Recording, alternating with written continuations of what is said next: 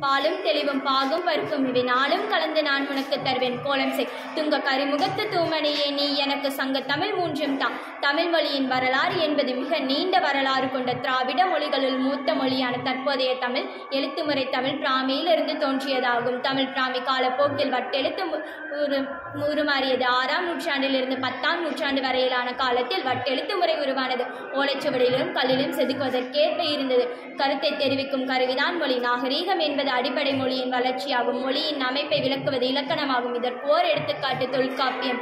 ஒரு மொழியின் இலக்கண அறிவு என்பது மொழிப்புலமை மொழியியல் மொழியின் செயல்பாட்டை விளக்குகிறது. பழந்தமிழ் என்பது தமிழ் பிராமி தொல்காப்பியமாகும் ஆகும். இடைக்கால தமிழ் கிபி ஐநூறு முதல் எட்நூற்றி ஐம்பது வரை ஆயிரத்தி இரநூறு முதல் ஆயிரத்தி அறுநூறு வரை.